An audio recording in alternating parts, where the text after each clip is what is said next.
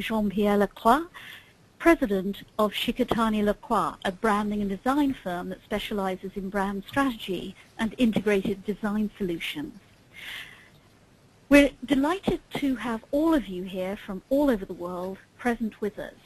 We would encourage questions to make this as interactive as possible.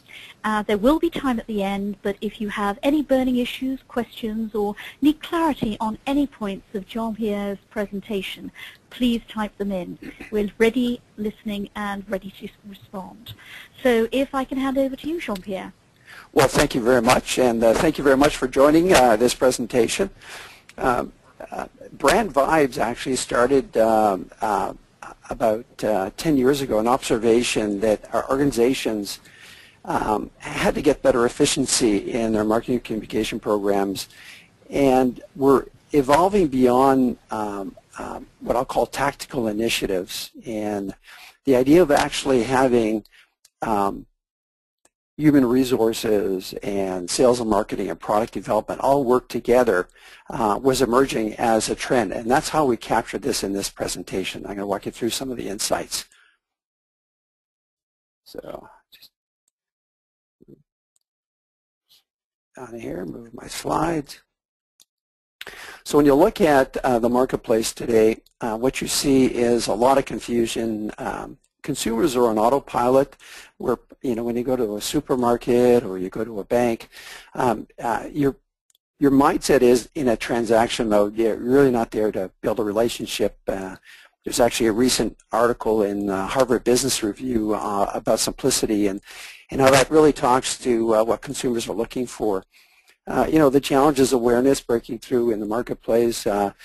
Most organizations are in silo structure and I'm sure that all of you on the phone have lived through this where uh, sales and marketing are not talking to each other. If they are, it's tactical in nature. Product development is on their own. Very seldom do you see finance getting involved in the process. And, uh, and because uh, conventional marketing um, has uh, limited measures, uh, you're really not getting a clear uh, direction of the effectiveness of the program. What we're evolving to is this idea of simplicity you know, this complexity of choice, making the buying easier for consumers. We're trying to be more intrusive. Uh, we call that disruptive uh, uh, approach to communication. That means uh, that we're trying to change the behavior of the consumer, and to do that, um, you can't do it subtly. You really need to um, engage them in a way that disrupts their current thinking. And, and we're trying to move from awareness really to creating brand loyalty and, uh, and obviously organizations are rethinking the way they structure and go to market and looking at much more integrated approaches. And uh, today with the advent of social media, uh, we, uh, we see um, the growth of dashboards in the marketplace, and that's all leading to stronger brand loyalty uh, with a fickle consumer.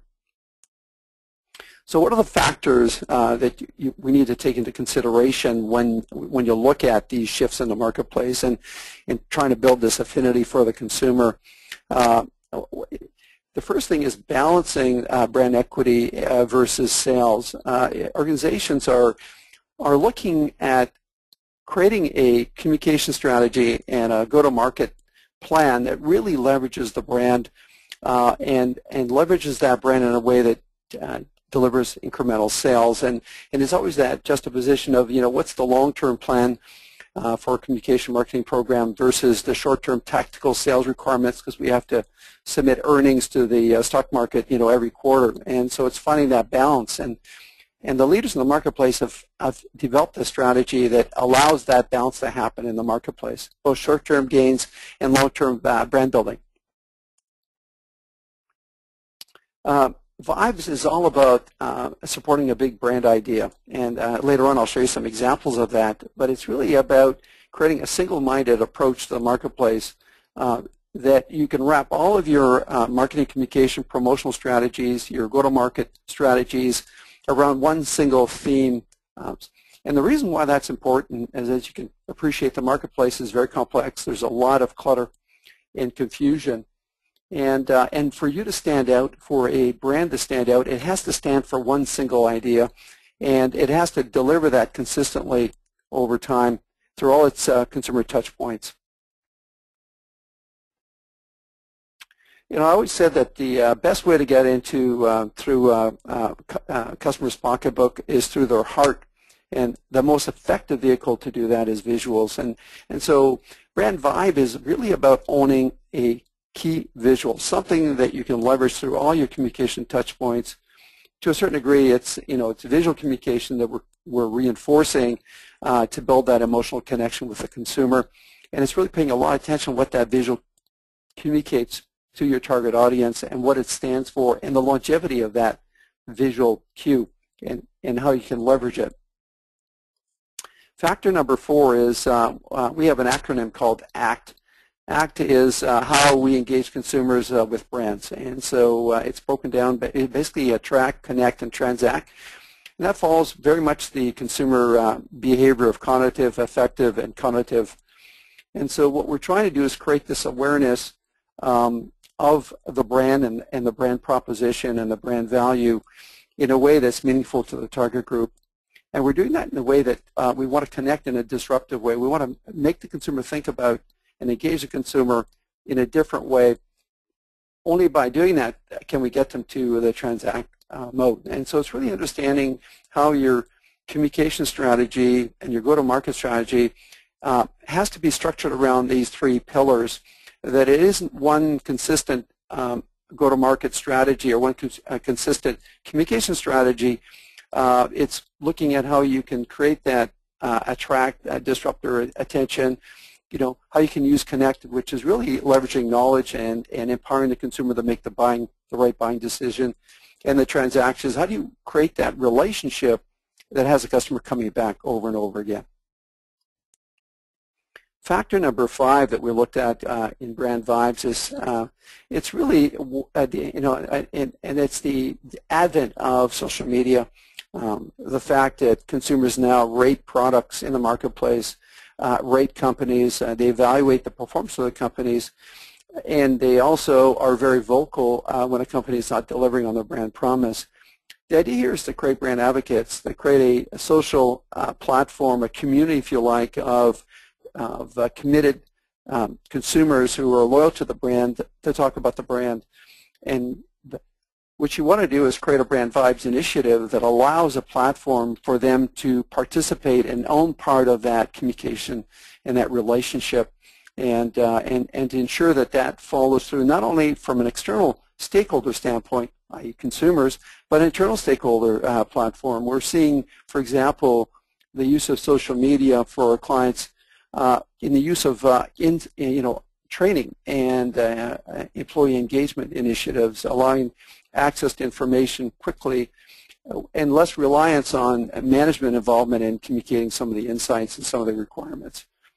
Very important. I wrote a book called The Belonging Experience about uh, two years ago, and, and it's all about brand engagement. And, uh, and, and 35 years in the business looking at how consumers engage in brands. I came out with this uh, model. Um, we, uh, basically, it's a brand engagement model. Um, and we look at three dimensions of brand engagement. Uh, we look at the process, the message, and the structure. In most companies uh, where uh, brand engagement initiatives fail is they, they focus too much on the message and not enough on the, the structure and the process. So the process could be the steps a consumer takes uh, to build a relationship with your brand or to buy a product from you or to uh, get uh, services from you. Uh, structure could be your portfolio structure. It could be um, how you uh, break your product offerings in different consumer segments. But it's important that all three of these work together because the consumer, from a standpoint of how they interact with brands, they start with a need, a customer need. And the customer needs to be delivered uh, through what I call a control sharing mechanism where you're allowing the consumer to make the right buying decision. And that it then evolves into a relationship building initiative through the structure and the process that you're delivering on the brand promise in a consistent way.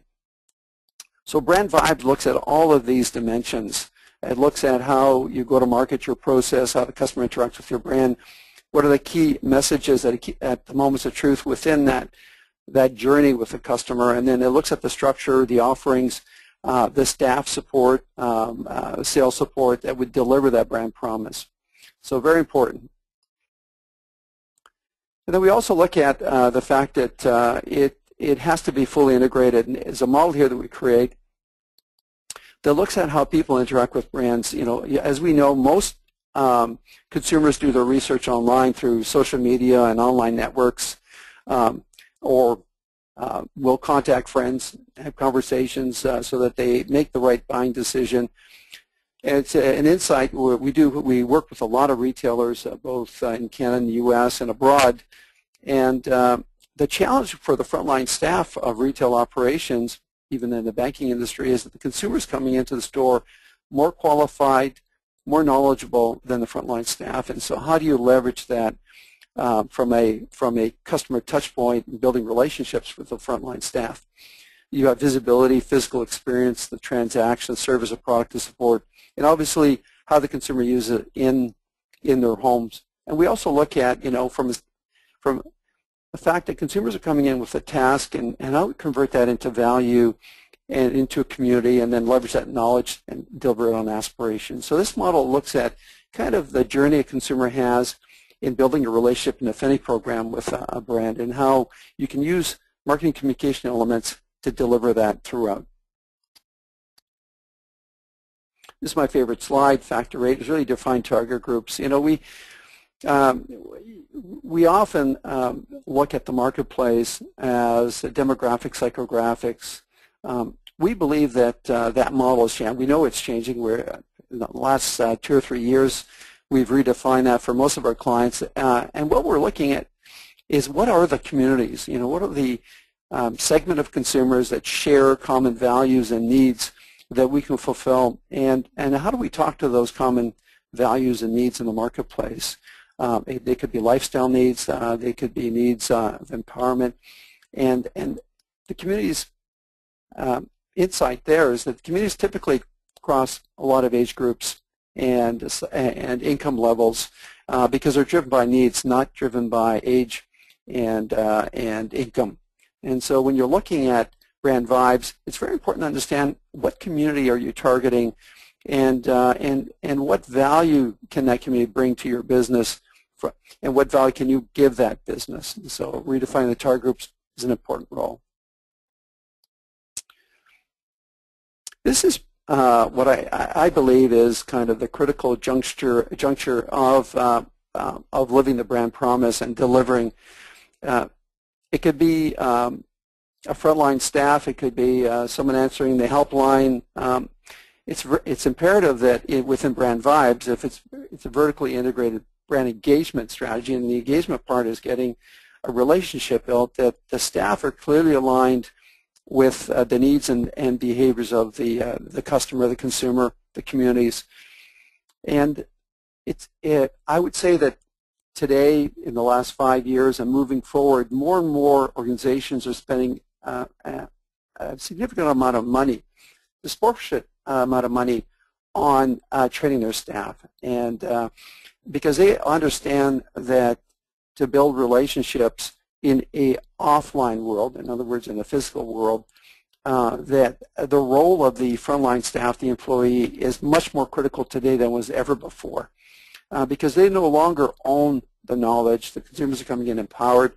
Uh, their role has shifted, and, and there's a required uh, shift in training and behavior if uh, brands are going to succeed in, in the physical world. And so uh, staff alignment very important at all levels.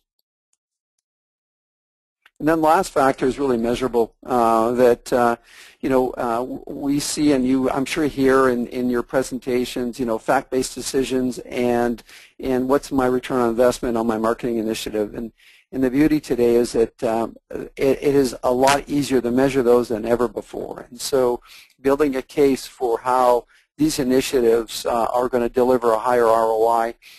I would say that five years ago when we, we, uh, we started assignments, uh, clients would never talk to us about ROI. Our first assignment where a client actually built into the contract a return on investment was uh, International Dairy Queen, where we had to deliver a 17% return on investment in what we were doing for them. And, uh, and you're seeing more and more organizations going to their marketing partners and asking for an, an understanding of what the rate of return is going to be on their initiatives. And so measurable becomes an important factor in brand vibes. So inspirations, uh, you know, when you look at the marketplace, there are a lot of companies that are, are developing uh, brand vibes. They may not have defined it as a brand vibe. I look at Dulux, their Color of the World initiative, that's a global initiative. Uh, but I believe that where this started uh, is uh, with this brand here, uh, Dove Soap. Um, Dove was in a commodity category. Uh, private label uh, was having a significant impact on their market share, and, and um, this initiative actually started in Europe. And they really defined what Dove st stood for and what was the big brand idea. And the big brand idea was this concept that um, that the media had created stereotypes of, uh, of what a woman should be.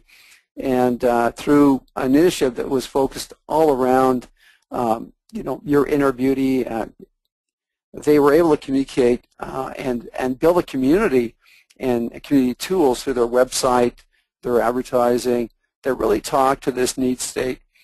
And when you talk about this community, the community was actually uh, mothers, at all ages and their daughters. And so this community had a very specific need. And, um, and the need was um, that they should be proud and confident about the way they look and that they shouldn't be judged by how the media had stereotyped them. And uh, as you know, this program became extremely successful. It uh, was then launched in Canada and the U.S and uh, for many years, um, um, you know, was able to build this online community and this community of consumers who who um, who gained insights and and, and understanding of uh, that that um, they don't need to be stereotyped. And so, the brand vibes is all about understanding how these this one single idea gets translated across all of the moments of truth of the brand. What does a green chair have to do with banking? Uh, TD um, uh, is a, uh, I think, the sixth largest uh, bank in North America. It's Canada's second largest financial institution. You would know it in the UK, TD uh, Waterhouse. Uh, in the U.S., there's also TD Ameritrade. Um, it, the company emerged through, or evolved through a merger between Canada Trust and TD. And um, the key visual of the chair uh, ties into their proposition. And their proposition is all about comfort. Uh, they own comfort, uh, that banking can be this comfortable, that everything we do is like around this sense of comfort, that we're going to make your life easier, uh, simpler, uh, more comfortable. Uh, you're going to feel more confident in your banking decisions through the branch. And so we evolved this program, everything from marketing communications, their branch design, uh, to their brand standards, everything really integrated around that single focused idea. And on this slide you can see that uh, they've leveraged a chair and the chair is evolving as we speak. And the challenge, uh, this, this chair concept actually program is uh, now about uh, 12, 14 years old. Uh, and so how do you keep the program fresh? Uh, it's been very successful in the marketplace and continues to drive uh, that um, affinity for the brand through an understanding of its single uh, benefit, which is about comfort. About a year ago, we were asked to redefine comfort uh, as it relates to the banking experience, and I'm going to walk you through a, a video here. And this video uh, talks to uh, the program that was launched last year which is redefining the uh, bank experience. And we wanted to create this uh, new experience right from the outside in from a standpoint of large windows and inviting environment, a place where people can um, um, go and have a cup of coffee and spend time relaxing, uh, let's say that while the spouse is doing some banking or you're doing some banking. Uh, we wanted to humanize the bank, so we really wanted to bring the customer service right up front. So instead of behind glass doors, uh, we had customer service care right at the front. At the uh, teller line, we created seating and an area where people can uh, relax while they're waiting to uh, for the teller line because 80% of transactions in Canadian banking happens at the teller line. So we just wanted to create an environment here that was comfortable uh, and easy for them to use from online banking here to uh, waiting place for the meeting with the wealth managers. we created an environment here, for example, uh, where you come in and, and um, uh, have your coins uh, converted to uh, to uh, in, into your bank account. And this service was offered for free, and it was used and developed so that children actually could do it, and it became part of the community involvement. In some of these branches, we created a kids area, and in each branch, we create a community wall with the introduction of digital signing. Um, and you can see a little camera at the top of the sign. We actually track how people view the screens, how long they look at them. And, uh, and again, we create an environment that talks to the brand, which is all about comfort. Another program we've done, in, this one's in the U.S., um, this little character is a Digi, and uh, Cox Communication is one of the largest wireless cable company, or sorry, cable companies in the U.S., and they embarked on a wireless license. And uh, we were fortunate enough to work with them at, developing the brand communication program through all the consumer touch points uh, from from their digital media to uh, to uh, their promotional communication. and this was all part of the platform to create a, a bricks and mortar experience for the consumers. And, uh, and I'm going to walk you through another video here that talks about this program. So Ed Cox uh, got into the uh, wireless business uh, last year, uh, and uh, the, the, concept was to really showcase uh, in an interactive way all of the services that they offer. And you can understand that their business model historically was a bill payment um, store, so consumers come in and pay their bills. And we had to shift that behavior and based, helping consumers understand how they can take the best of their technology. The Digi is all about your friend in the digital age. It's all about this, um, you know, brand advocate that's there to help you uh, make the right buying decisions from buying mobile solutions to, uh, to a variety of other services from cable to high-speed internet. And obviously the Digi plays an important role in premiums and communication on the digital signs. And uh, this program has been extremely successful. This program was rolled out to about 150 locations across the U.S. And we're doing another 50 this year. But it's all about this creating this uh, unified, vertically integrated brand strategy that is consistent across all the consumer touchpoints from their website to their uh, physical asset. The last case study I'm going to walk you through is Grand Toy. And Grand Toy is owned by OfficeMax. Grand Toy is kind of uh, second largest office supply retailer, uh, business to business. And uh, the challenge was Staples came into the marketplace and uh, and dominated uh, through larger stores, whereas Grand and Toy historically were small stores, about half the size of a of a Staples. And so we redefined the business model for them. Um, we identified the Soho customer, the Soho community, if you like, as um, the target group we want to go after. And we built everything from product offerings to the online web presence to the physical stores to specifically talk to the needs of the Soho, the small office, home office, consumer or community. And uh, everything we built uh, from a standpoint of staff uh, training to uh, product offering to, uh, to marketing communication material was singly focused around this one idea of how Grand Toy can make your life easier uh, if you're a small business. And, uh, and the program uh, included a, uh, an extensive uh, staff training program because we had to uh, change the behavior of the staff to understand that they were selling knowledge and empowerment, not products. And this program now is in its second year, and it continues to grow significantly. Same-store sales are significantly higher than than, than even what was uh, planned in the, in the budgets. So that showcases, there's many more. If you looked at uh, IBM, the Smart Planet, there's another great example of, of a brand Vibes where they've fully integrated their entire story around one key message, both how they hire to how they go to market, how they communicate in the marketplace, and, and how they build their portfolio of services and products on how to meet the needs of a smarter planet. So I'll talk quickly about process, if I may. Um, Jean-Pierre, yeah. if I can just interject to this point, we've had a really sure. interesting question from Alison here, who's just saying um, many of the examples are retail. Could you maybe give um, an example of how this can work in a services business? Well, I would say uh, if, uh, I would, uh, thank you for asking, and you know, in in light of uh, shortening the presentation, I took some of the examples out. If, like I said, uh, if you look at IBM Smart Planet, uh, they created six platforms that align to how they make, you know, the planet smarter from traffic to water purification to running office more efficiently.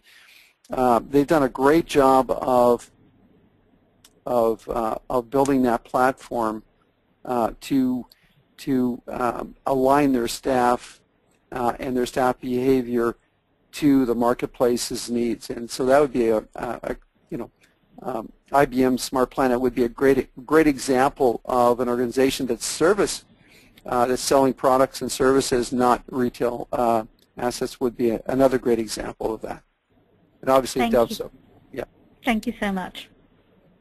Good. So planning process, just uh, some quick uh, quick tips here, uh, thoughts. Uh, I think it starts with establishing a big idea, and and very often we we work with the client understanding um, what is uh, your brand essence. You know, what's the brand DNA, and how does that translate into a big idea? And that's where we start. And so it's looking. In a lot of cases, it's actually reevaluating uh, your brand card and, and your brand DNA and, and ensuring it's relevant to your target group. Uh, it's very important to right off the outset, what are the metrics, you know, what are the, what's the ROI you're looking to accomplish? What are the key metrics you're trying to accomplish in this brand vibes, vertically integrated brand engagement strategy? And how are you going to deliver those? And, and what are your assumptions that build along that? It's very important because it's what's going to drive the funding of your program uh, within your organization. And then this idea of integration of tools, uh, you know, it's looking at how do all of these uh, vehicles uh, align and are integrated to support that big brand idea and ensuring that that these tools are used for the right reasons uh, and, and for the full impact of them. You know, and then it's all about, um, we call it legs. You know, does the program have legs? Does it have longevity? Um, you know, can we extend this program in year five, year six, year seven? If you look at IBM Smarter Planet, it's now been about 10 years that they've launched that program, and it still has as much relevancy today as it did, you know, 10 years ago. So what, but how do you keep it fresh? You know, and if you're going to add new services, you know, what is uh, the, you know, how does this platform allow for those new services or products? And then importantly, it's also look at an exit strategy. In other words, when this program, you know, runs its course, and it could it could take, you know, in the case of uh, the green chair for TD, it's like I said, it's about 15, 12 to 15 years old. How do you how do you exit that strategy and and, and evolve it so that uh, you still maintain that equity? And here's a map of uh, kind of all of the different factors that you may want to take into consideration for the big for this uh, vertical brand engagement strategy. Everything from online, offline, HR, you know, marketing communication. So this becomes a, a map that you need to understand where all of these pieces come together uh, to support the big brand idea. And that's it. Uh, that's uh, my presentation. I welcome any comments or questions that you may have. Uh, you can also visit SL Design Lounge where we have a variety of other white papers uh, on uh, anything from shopper marketing to the the marketplace. That's great. Thank you so much, Jean-Pierre. I have a, a, question here. Um, you alluded to it in the last slide, and the question came in, so maybe our uh, participants happy with the slide you showed. But I'll ask the question anyway. But her question was, can you give any advice on working across the silos in the internal business and oh, what yes. structures have worked in other organizations? Yeah, so so uh, that's a great question. Thank you for asking that. you got to you got to establish a cross-divisional team. So first, you need to have the buy-in at the senior management level, uh, from the president down. You need to have uh, an agreement that uh, that brand vibes needs to happen and that there's a mandate, uh, because without the endorsement of uh, the senior leadership team in, in your organization, uh, you're going to be fighting uphill because the challenge you're going to have is conflicting schedules, conflicting agendas, um, time allocation and resources. They need to have a dedicated team for brand vibes for the kickoff and integration of the program. So typically it takes six months to eight months for this to take take life. And so top leadership mandate, task force, where a significant amount of their time is allocated to the project. It's not like, well, I'll fit you in. You have a project charter uh, that uh, the, manage, the senior management team needs to sign. This project, project charter has the responsibilities, their roles, the deliverables, the metrics, and, and the task force members need to sign the charter. Uh, because by signing it, there is a, you know, technically a contractual agreement that they're going to put the commitment time. And then it's about really uh, delegating uh, and dividing the responsibilities and then having weekly status meetings. Uh, we find those weekly status meetings very important because people tend, you know, it's human nature, you tend to wait a day before the status meeting to get your work done, but at least if you're breaking it on a weekly basis, things don't get out of line. So, that, those would be the, the steps that we co constantly take. I mean, we're doing a major program right now in the U.S. for, for an organization, and, and that's the first thing we did is we got uh, everyone to sign off on the charter. We got the senior leadership team to ensure that the people working on the team uh, um, had time commitments to, to the program. Great, great question. Uh, we've learned a lot about some really good successes, Jean-Pierre. Uh, a question here is, can you, you give some examples of some real brand disasters? I don't, you know, because this brand Vibes is fairly new in the marketplace, I haven't seen um, initiatives that have gone astray. Uh, so I don't have any, uh, at the top of my mind, I don't have any that have gone um, awry in, in marketplace. Uh, like I said, uh, you know, if you look at the industry at large and you look at this model, there's only four or five companies uh, doing that effectively today, and mm -hmm. and we're hoping to see more and more of these. Great. Rajesh, I hope that answers your question.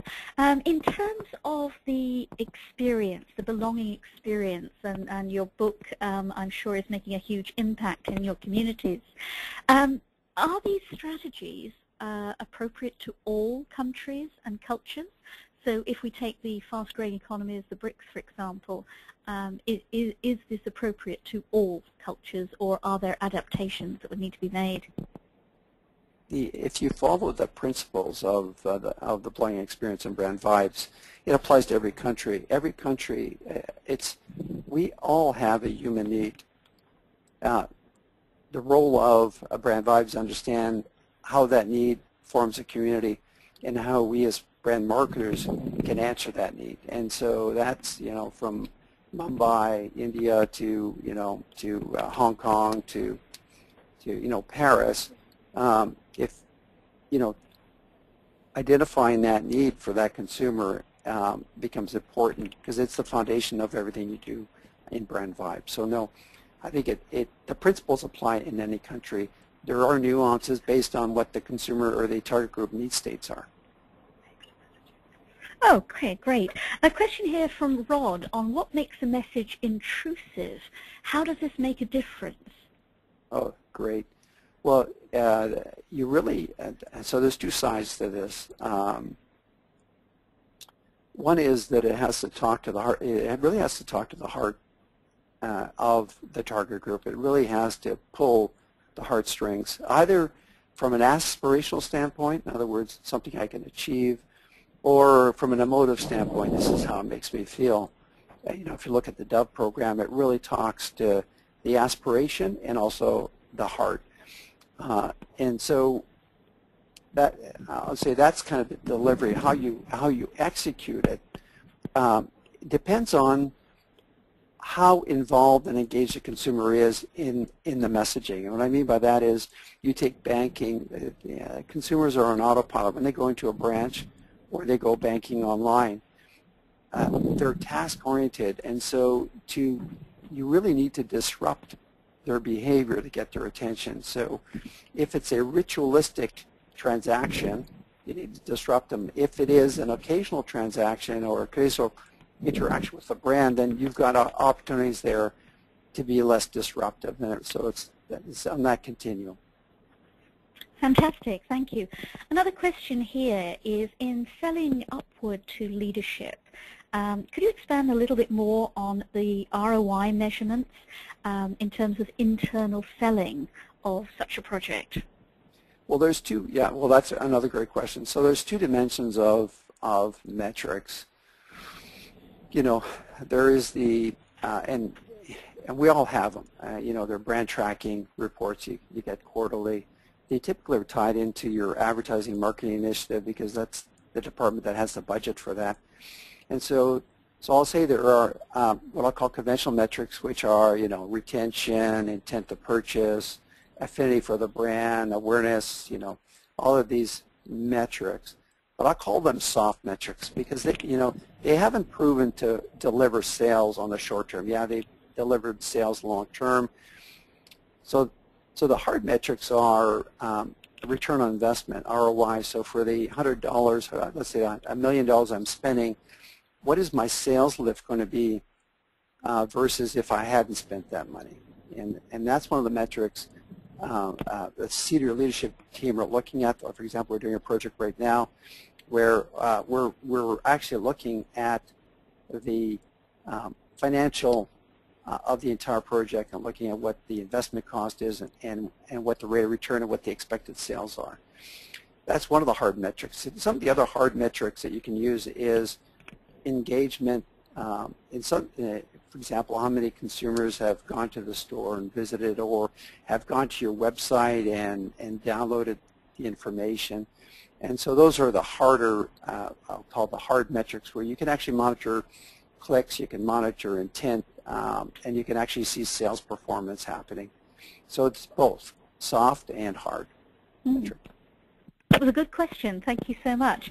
Um, any more questions coming in? I have one more here um, ready to ask to uh, Jean-Pierre, but if there is any last um, question, burning question that anybody would like to ask before we complete our seminar, um, please email in and, and we will ask the question directly. Um, finally, uh, uh, our last question here is from Margaret. For low-cost products, is brand affinity more important than cost? That's a great question. We're actually really doing a major yeah, we're we're actually doing a major private label program in um, in the health category. Um, so think of uh, think of um, think of value because uh, uh, there's this big market shift, and I don't think it's a trend. I think this is like this is the reality. This is the new reality. We have to live with it.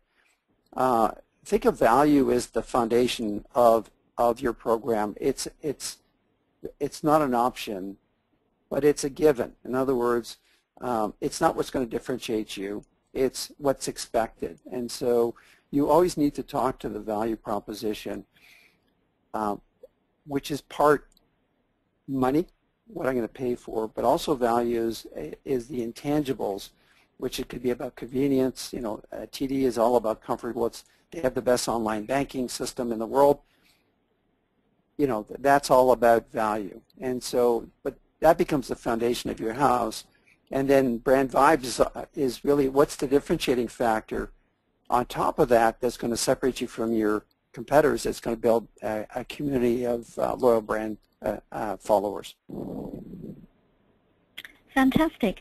Well, we have no other questions coming in, so on behalf of our community, Jean-Pierre Lacroix, thank you so much for a most stimulating, interesting learning experience. To all of our community and members of our AMBA global community, if you want to find out more, Belonging Experiences, a guide to designing engaging communities for brands, is out and available for you.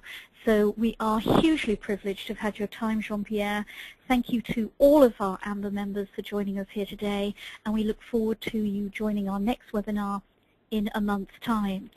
The slides will be available, sent out to you by link for all those who participated. So on behalf of the Association of MBAs, a huge thank you, Jean-Pierre, and we look forward to engagement in the future. Thank you and goodbye. Bye now. Bye-bye.